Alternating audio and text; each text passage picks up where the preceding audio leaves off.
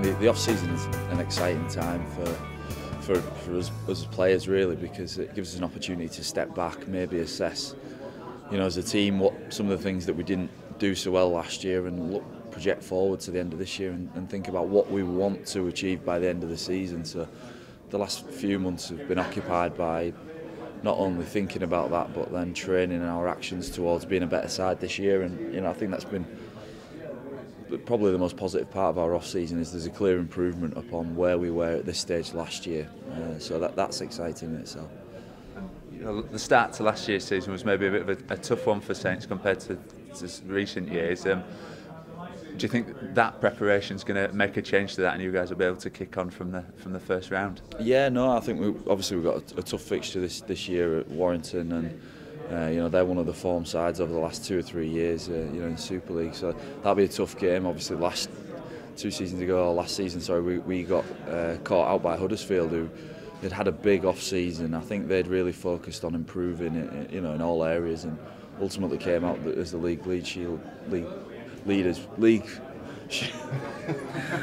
right wait, league leaders shield winners uh, last year so um, you know we're, we're well aware that the first game of the season's uh, I think psychologically a really important point for, for all teams um, and uh, we, we're well aware how important it is to start well and, and, and we need to do that. You mentioned the Giants there they went on you know fantastic season last year and it all started, you know, off season. They, they really strengthened that pack and, and had a, a good off season, like you mentioned.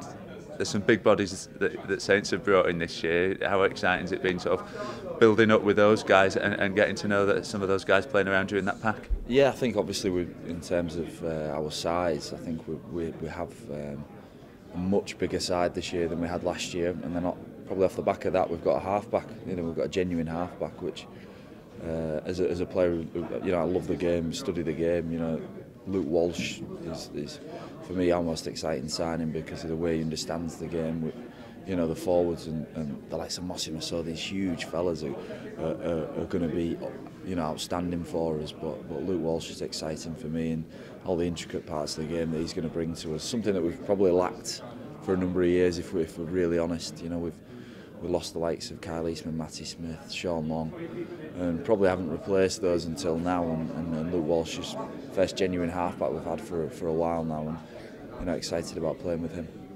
Some of the players around him that he's you know going to put those key passes into. There's, it's a young backline now. I mean, I don't know what the average age is, but it must be early 20s.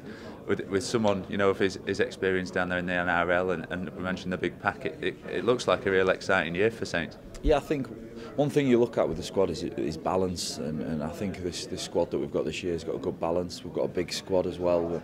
I think we uh, that how the depth of our squad really got tested last year. We had so many injuries in, in, in different positions, you know. And one of the probably the the big things to come out of last year was that we had a lot of young guys who have a lot of experience in this coming into this season, which we really wouldn't have expected those guys to have. Uh, a lot of those are the backs. You look at Adam Swift, Tommy Makinson, uh, Jordan Turner, who's vastly experienced, but you know got a really solid season at centre under his belt. Josh Jones, Mark Percival, these kinds of players who have probably at this stage in their career, Jordan Turner probably exempt from that, who's been going for a while, have, have probably played a lot more games than they would have, you know, probably thought they would have, and and that gives them some some great experience and and also, you know, it gives them confidence. They know what the job's all about, and going into this year, I expect.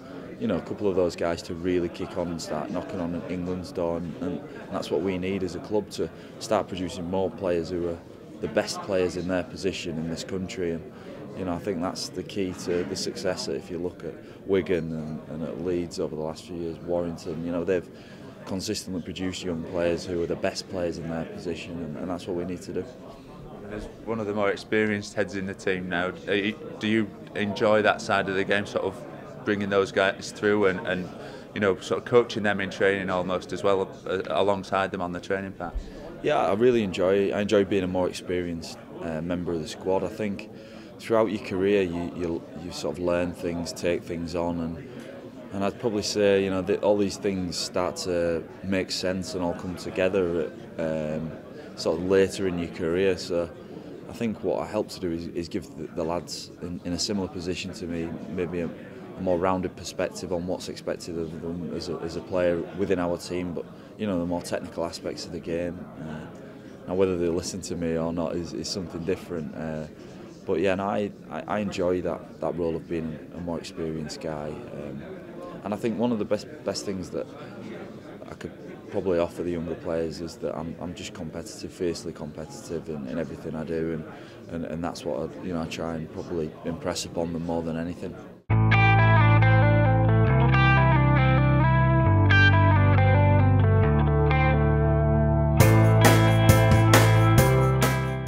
You were talking about the, the season last year and a few injuries and people filling in.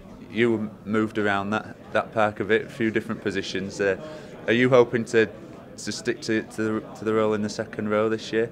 Yeah, no, look, throughout my career, I think consistently, you know, I can't think of a season, barring one or two, where I haven't been, you know, asked to move and play a few different positions.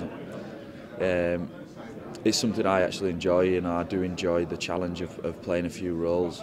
I'd rather be settled in one position, but when you're part of a team, you know, there's a sacrifice, a personal sacrifice, and a commitment that you make as an individual to the team at the start of the year, and and that sacrifice is look, if something's not the best for me, but it's the best for the team, I'll do it. And I've always subscribed to that theory. You know, St Helens as a club, this this team means more to me than just my own personal uh, satisfaction and, and, and my own personal gain. It's, this team goes on, it carries on, the history of the team continues, and, and I'm just blessed to, that my path crossed with the team for this amount of time. And during that time, I made a commitment when I was younger to do whatever I can to, to help the cause, and, and, and part of that's been sacrifice, maybe on a personal level, to play a number of positions through the year. And if, if that's needed this year, I'll do it again, and I'll do it without question, without hesitation, and do it with you know as much intensity and passion and and with as much skill as I can.